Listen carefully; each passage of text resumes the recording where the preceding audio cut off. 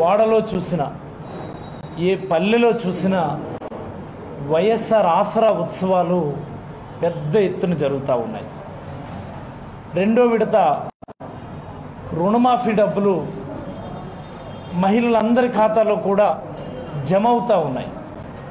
మరి ఈ ప్రోగ్రాంని గౌరవ ముఖ్యమంత్రి గారు లాంఛనంగా మొన్న ఏడవ తేదీన ప్రకాశం జిల్లా ఒంగోలులో ప్రారంభించినటువంటి రోజు నుంచి ఒక పది రోజుల పాటు పెద్ద ఎత్తున ఉత్సవాలు చేసుకోవాలని ఈ ప్రభుత్వం నిర్ణయించింది. మరి ఈ ఉత్సవాల్లో ఉన్నటువంటి సానుకూల వాతావరణాన్ని ఒక పాజిటివ్ వైబ్రేషన్స్ని ప్రజల్లోకి చేరకుండా ప్రజలు ఎవరికి ఆ సానుకూల ఫలితాలు వాళ్ళకెవరికి దక్కకుండా డైవర్ట్ చేయటానికి ఒక విశ్వ ప్రయత్నం చేసింది ఈరోజు ప్రతిపక్ష పార్టీ తెలుగుదేశం పార్టీ. మీరు చూడొచ్చు మనకి సంబంధం లేనటువంటి విషయాల్ని మన ప్రమేయం లేనటువంటి విషయాల్ని సైతం మన మీద రుద్ది ఈ ప్రభుత్వాన్ని అప్రదిష్ట పాలు చేయటానికి ఏదో డ్రగ్ మాఫియా ఆంధ్రప్రదేశ్ నుంచే జరుగుతూ ఉందని ఎక్కడో ముందరాపోర్ట్లో దొరికినటువంటి డ్రగ్స్ని మనకంటగట్టి మన మీద బురద జల్లేటటువంటి విశ్వ ప్రయత్నం చేసింది మనందరం చూసాం. రోజంతా టీవీల్లో పేపర్లో అదే. ఆంధ్రప్రదేశ్ నుంచే ఇదేదో మాఫియా జరిగిపోతున్నట్టు కలరంగి ఇవ్వాలని ప్రజలను ఆ రకంగా డీవియేట్ చేయాలని ఒక ప్రయత్నం చేసింది. మరి భారత హోంశాఖ ఎన్ఐఏ వాళ్ళు ఆంధ్రప్రదేశ్ రాష్ట్రానికి దీనికి ఎలాంటి సంబంధం లేదని చెప్పి తేల్చిన తర్వాత అదేదో కొంత మీడియాలో సర్దుమణిగి మరి ఇప్పుడు చూస్తే ఈ వైఎస్ఆర్ పేదలందరికీ ఇళ్ళ పథకం మీద కోర్టులో స్టే తీసుకొచ్చి ఒక మూడు రోజులు రాక్షసానందం పొందారు. మనం ఇది గమనించాలి అత్యంత ప్రధానమైనటువంటి. కోర్టు స్టే ఇచ్చిన మరుక్షణం తెలుగుదేశం పార్టీ నాయకులందరూ కూడా మీడియా ముందుకు వచ్చారు మైకులకు వచ్చారు ఇదిగో కోర్టు ఆపేసింది. ఇదిగో ఈ ప్రభుత్వం మరి ఏం చేయలేదు. ఇంతకాలం ఏం చేశారు వీళ్ళని చెప్పి రకరకాలుగా బురద చల్లి నిన్న ఫ్రెష్గా చంద్రబాబు మళ్ళీ బయటకు వచ్చి అబేబే మాకేం సంబంధం లేదు. ఇది వైసీపీ వాళ్ళే కోర్టులో కేసు వేసుకొని వాళ్ళకు వాళ్ళే ఆపించుకుంటున్నారని చెప్పి ఓ వితండవాదాన్ని ముందుకు తీసుకొచ్చాడు చంద్రబాబు. అసలు ఆయన క్యారెక్టర్ మనం ఒకసారి గమనిస్తే ఎగ్జాక్ట్లీ మహాభారతంలో ఏం జరిగిందో ఈరోజు ఆంధ్రప్రదేశ్లో ఎగ్జాక్ట్లీ అదే జరుగుతాం. ఈ వైఎస్ఆర్ ఆసరా రెండో విడత జమైన సందర్భంగా జరుగుతున్నటువంటి ఈ సంబరాల్లో భాగంగా ఈరోజు ఒకసారి మహాభారతంలో జరిగినటువంటి అంశాలని ఒక్కసారి మనం అన్వయించుకుంటే మహాభారతం నుంచి మనం నేర్చుకోదగ్గ పెద్ద నీతి ఏంటి? ఎక్కడైనా మహిళల హక్కులు భంగం కలిగితే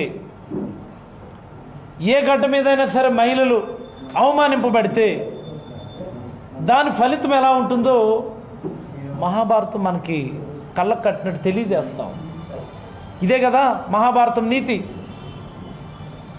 ద్రౌపదికి జరిగినటువంటి ఒక అన్యాయం.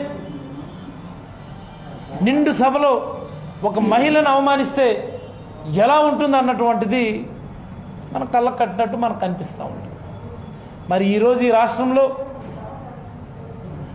మహిళలకు జరుగుతున్నటువంటి మహిళల హక్కులకు జరుగుతున్నటువంటి ఎన్ని అడ్డంకులు ప్రతి దాని మీద కూడా కోర్టులకు వెళ్ళి మహిళలకు జరగాల్సినటువంటి అభివృద్ధి కానీ సంక్షేమం కానీ వాళ్ళ హక్కుల మీద కానీ ప్రతి దాని మీద కూడా కోర్టులకు వెళ్ళి ఆపించేటటువంటి ఒక ప్రయత్నం జరుగుతూ ఉంది. ఇంగ్లీష్ మీడియం మీద కోర్టులకు వెళ్ళారు. ఇళ్ళ పట్టాలు ఇస్తామంటే కోర్టులకు వెళ్ళారు. చివరికి ఇల్లు కట్టుకుంటూ ఉంటే కోర్టులకు వెళ్ళారు. ఇలా ఒకటేమిటి? మహిళలకు చేస్తున్నటువంటి ప్రతి మంచి పని మీద కూడా ఈరోజు కోర్టులకు వెళ్ళి ఆపించేటటువంటి ప్రయత్నం చేస్తూ ఉన్నారు. మరి మీరేం అధికారంలో ఉన్నప్పుడు చంద్రబాబు గారు? మహిళల మీద అనేకమైనటువంటి ఆకృత్యాలకు పాల్పడ్డారు. నేరుగా దాడులకు పాల్పడ్డారు. దాని ఫలితమే ఇరవై మూడు సీట్లు. అయినా కానీ మీకు బుద్ధి రాలేదు.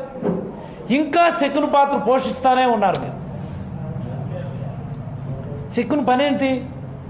తన ఉనికి కోసం తన లబ్ధి కోసం కౌరవులందరినీ కూడా పక్కదారి పట్టించి లబ్ధి పొందాలని చూస్తాడు. చివరికి ఏం జరిగింది? కన్ను పొడిపించుకునేటటువంటి పరిస్థితి వచ్చింది. ఈరోజు చంద్రబాబుకి కన్ను పొడిచినా సరే ఇప్పటికీ కూడా బుద్ధి రాలేదని చెప్పి సందర్భంగా మీకు అందరికీ కూడా నేను గుర్తు చేస్తా ఉన్నాను. నేను మహాభారతంలో జరిగినటువంటి అంశాలే ప్రతీది కూడా ఈరోజు మరొకటి ఉంది మహాభారతంలో. సొంత మనుషుల్ని ఆస్తుల కోసం అధికారం కోసం అడవులు పాలు చేసినటువంటి పరిస్థితి కూడా చూస్తూ ఉంటాం మనం మహాభారతం. మరి ఈరోజు ఇదే చంద్రబాబు అధికారం కోసం ఆస్తుల కోసం సొంత మామను వెన్నుపోడ్చినటువంటి దౌర్భాగ్యమైనటువంటి చరిత్ర ఉంది. నేను అనుకుంటా ఉంటాను. మహాభారతంలో మంచిని మంచి గురించి కొంతమంది స్ఫూర్తి పొందితే మహాభారతంలో ఉన్నటువంటి విలనిజం నుంచి చంద్రబాబు స్ఫూర్తి పొంది ఉంటాడని నేనైతే అనుకుంటా ఉంటాను. నేను ఖచ్చితంగా ఈరోజు ఈ వైఎస్ఆర్ ఆసరా గురించి మనం ఒకసారి మాట్లాడాలంటే ఆ రోజు చంద్రబాబు ఎన్నికలకు రెండు వేల పద్నాలుగు ఎన్నికలకు ముందు మహిళలకు ఏం చెప్పాడు? మీకు రుణమాఫీ చేస్తాం. మీరెవరు కూడా అప్పులు తీర్చొద్దు. మీరు బ్యాంకులో కుదిపెట్టినటువంటి బంగారాన్ని మీకు తెచ్చిచ్చే బాధ్యత నాది అని చెప్పి ఆ రోజు అంటే మహిళలందరూ అది నమ్మారు పాపం. ఓట్లేసి గెలిపించారు. మరి నువ్వేం చేసావు సుమారుగా పద్నాలుగు వేల కోట్లు పైబడి ఉన్నటువంటి రుణమాఫీల్ని చేసావా? చేయలేదే. వడ్డీలు చక్ర వడ్డీలు కలిపేవి చివరికి ఇరవై ఐదు వేల కోట్ల కింద మారిపోయాయి.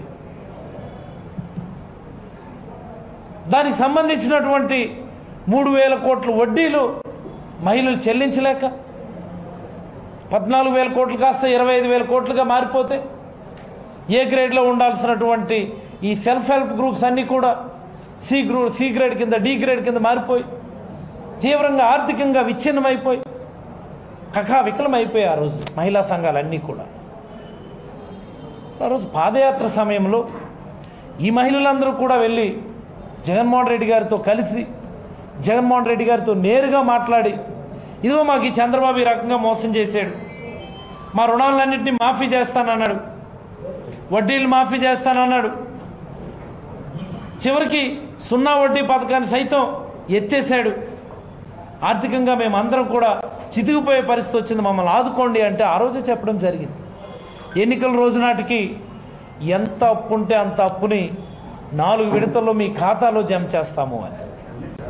మరి జగన్మోహన్ రెడ్డి గారు చెప్పిన మాట ప్రకారం ఈరోజు చూస్తే మొదటి విడత కింద ఆరు వేల మూడు వందల పంతొమ్మిది కోట్లని మహిళల ఖాతాలో జమ చేసాం మరి రెండో విడత కింద ఆరు వేల నాలుగు వందల నలభై కోట్లు సుమారుగా డెబ్బై ఎనిమిది లక్షల మంది మహిళల ఖాతాలో జమ చేసాం రెండో విడత.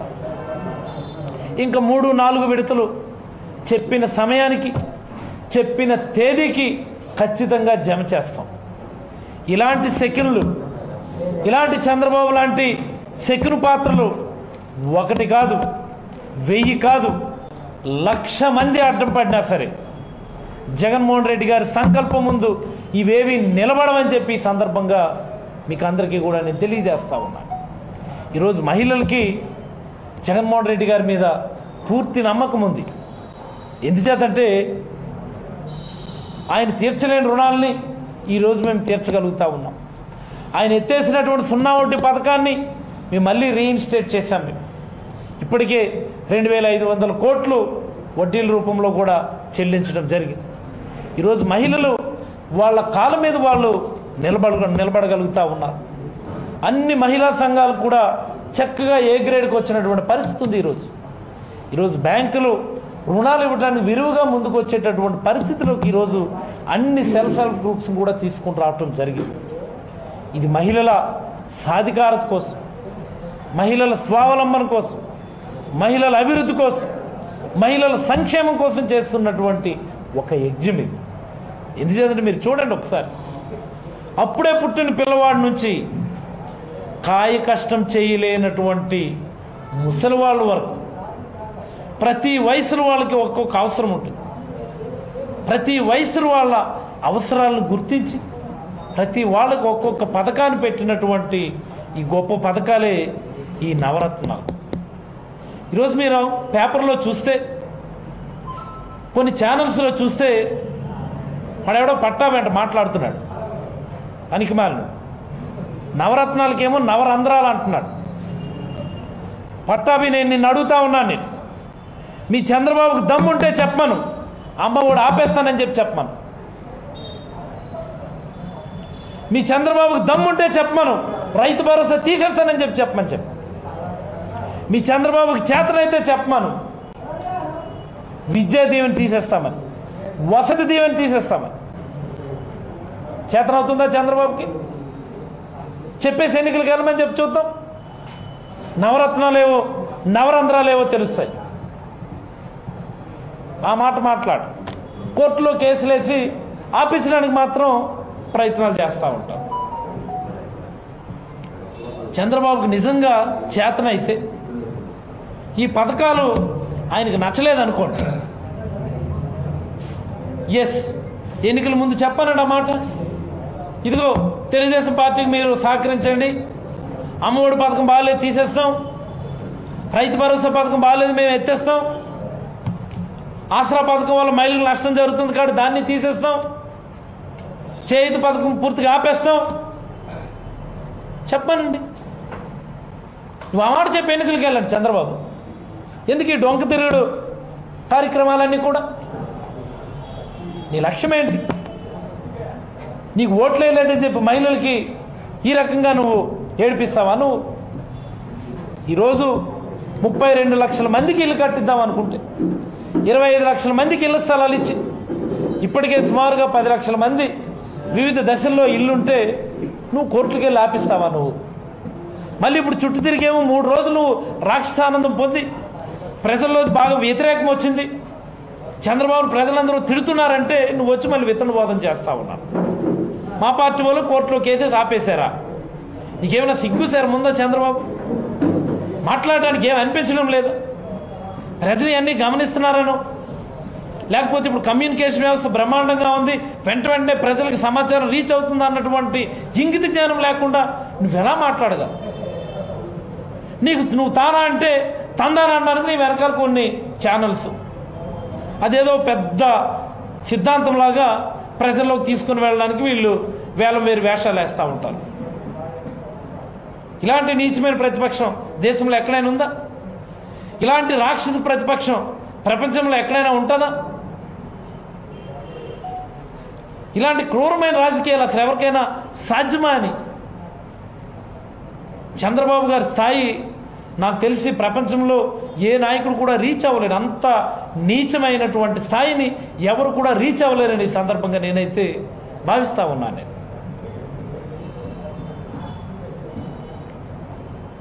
ఈ నవరత్నాల్లో ఉన్నటువంటి ప్రతి పథకం మీద కూడా బురద జల్లేటటువంటి నీవు నీకు దమ్ముంటే నీకు చేతనైతే ఈ నవరత్నాల పథకాలు నేను ఆపేస్తాను. ఇవన్నిటిని కూడా నేను స్క్రాప్ చేసేస్తానని చెప్పి నువ్వు చెప్పి నువ్వు ఎన్నికలకు వెళ్ళమని చంద్రబాబుకి నేనైతే ఛాలెంజ్ చేస్తా ఉన్నాను.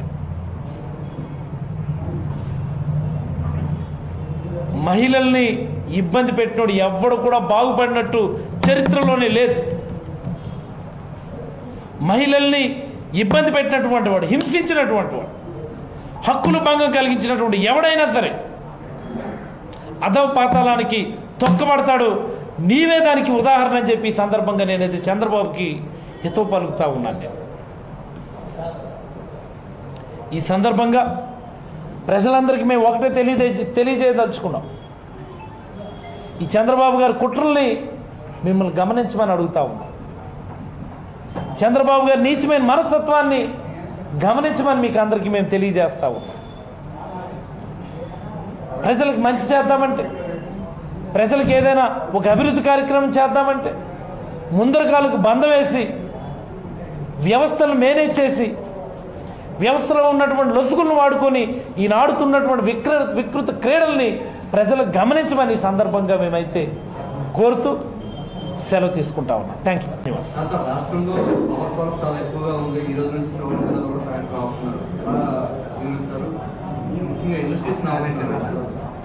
చాలా మంచి ప్రశ్న. ఈరోజు నేను ఒక ప్రధానమైనటువంటి వార్తాపత్రిక ఈనాడు పేరు కూడా చెప్తున్నాను నేను. ఈనాడులో ఏం రాశాడంటే దేశంలో బొగ్గు కొరత ఉంది. బొగ్గు కొరత కారణంగా కేంద్రం ముందు చూపు లేకపోవడం వల్ల కేంద్రం అనాలోచిత నిర్ణయాల వల్ల దేశం మొత్తం సంక్షోభంలోకి వెళ్ళిపోతుంది అని చెప్పి ఒక పేజీలో రాశాడు. పెద్ద ఆర్టికల్ రాశాడు. ఇంకో పేజీలో ఏం రాశాడు? జగన్మోహన్ రెడ్డి గారు అనాలోచిత నిర్ణయాల వల్ల. జగన్మోహన్ రెడ్డి గారి చేతకానితనం వల్ల ఆంధ్రప్రదేశ్లో విద్యుత్ సంక్షోభం వచ్చిందని రాశాడు ఏమిటిది? అసలు విలువలు లేవా? మనం వార్తలో ఒక వార్త రాసేప్పుడు ప్రజలు ఇవన్నీ గమనిస్తున్నారు. ప్రజలకి సమాచారం చాలా త్వర త్వరగా అందుతుంది. నిజాలనేవి తెలుసుకునేటటువంటి అవకాశం ఉంది అన్న విషయం కూడా తెలుసుకోకుండా ఎలా రాస్తారు వార్తలు? ఒక పేజీలోనేమో దేశం మొత్తం కొరత ఉంది దేశం మొత్తం సంక్షోభం ఉందని రాస్తారా? ఇంకో పేజీలోనేమో జగన్మోహన్ రెడ్డి గారి చేతకాని వల్ల చేతకానితనం వల్ల ఇలా జరుగుతుందని రాస్తారా? ఇవేనా విలువలు ఇవి? ఇవేనా జర్నలిజం విలువలు అంటే? ఈ మాత్రం దానికో జర్నలిజం స్కూల్ ఎందుకు? చేతనైతే వాస్తవాలను రాయాలి మనం ముందస్తుగా పసిగట్టాం కనుకనే ప్రధానమంత్రి గారు లేఖ రాశారు. మనల్ని అనుసరించి ఢిల్లీ ముఖ్యమంత్రి రాశారు. రేపు పొద్దున గుజరాత్ మహారాష్ట్ర ప్రతి ప్రతి రాష్ట్రం కూడా ఈరోజు కేంద్రానికి అభ్యర్థించేటటువంటి పరిస్థితి ఉంది. మళ్ళీ అంటాడు తెలంగాణలో లేని సమస్య ఆంధ్రప్రదేశ్లో ఏంటి అట. చంద్రబాబు అసలు ఏమైనా నీకు అసలు సెన్సిబిలిటీ ఉందా? తెలంగాణలో సింగరేణి బొగ్గుంది. వాళ్ళు ఇతర కంపెనీలకు ఎవరికి ఇవ్వకుండా వాళ్ళ థర్మల్ పవర్ ప్రాజెక్ట్స్కి అవసరమయ్యేట్టుగా దాన్ని రీఅరేంజ్ చేసుకొని ఈ సంక్షోభం నుంచి వాళ్ళు అధిగమించడానికి ప్రయత్నం చేస్తూ ఉన్నారు. అంటే అంత తెలియకుండా ఉన్నారా ప్రజలు?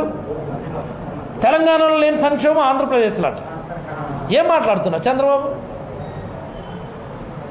పత్ర పాత్రికేయ విలువలు అయితే పూర్తిగా దెబ్బతిన్నాయి నేనైతే భావిస్తూ ఉన్నాను. ఇది దేశవ్యాప్తంగా ఉన్న సమస్య. దీన్ని అధిగమించడానికి రాష్ట్ర ప్రభుత్వం శతదా ప్రయత్నం చేస్తూ ఉంది. ప్రజలకి అన్ని విషయాల్ని వాస్తవాలను కూడా ముందుగానే తెలియజేసింది. ప్రజలు కూడా ఈ విషయంలో సహకరించాలని నేనైతే కోరుతా ఉన్నాను. పవర్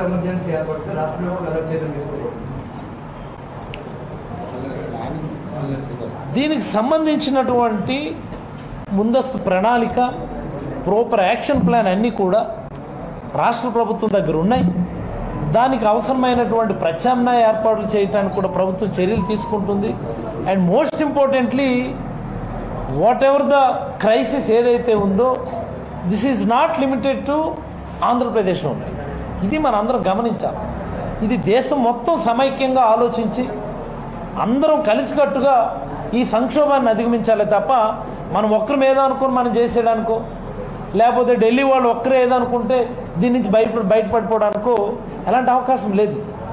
దీనికి సంబంధించి కేంద్ర ప్రభుత్వం కూడా నిన్ననే హోంమంత్రి అమిత్ షా గారు ఈ బొగ్గుకు సంబంధించిన మంత్రులతో కూడా ప్రత్యేక సమావేశం ఏర్పాటు చేశారు.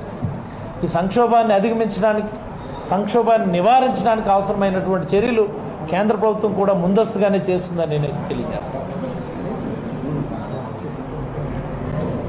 Anything else? Right. Thank you. Thank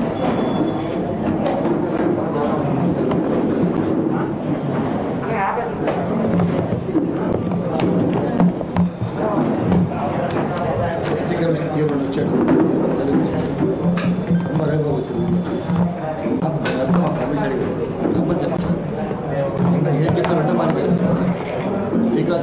どっちだ。